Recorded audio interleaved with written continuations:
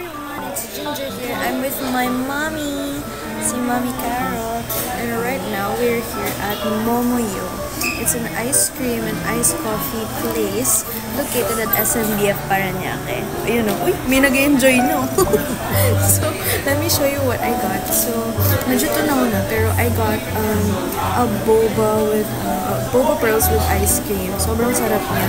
Malapit ko na siya maubos. Tapos si Mami naman, oh Mami, what did you get? Oh, Jumbo fruit tea. One liter po. Grabe, one liter. Ang diabetic. Charis. Ayan, super laki niya guys. And super sulit kasi may real fruits din siya. Nakita ko na. Super, oh. Sige nga, describe the taste. Ay, fruity syempre. Siyempre fruity. Masarap, masarap.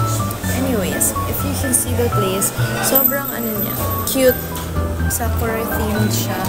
And Instagram. Oo, Instagrammable din. Oh, wow. Alam na niya yun. Gen Z ka. Aesthetic. Aesthetic. Uy! Pero yun nga, pink yung interior. Super cute ng place. Ang daming bumibili. As you can see, oh, ang daming tao.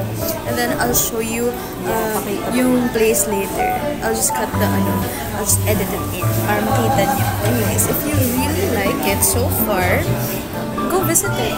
SMB pa rin yan eh. Momoyo, yung pangalan. The best. Okay.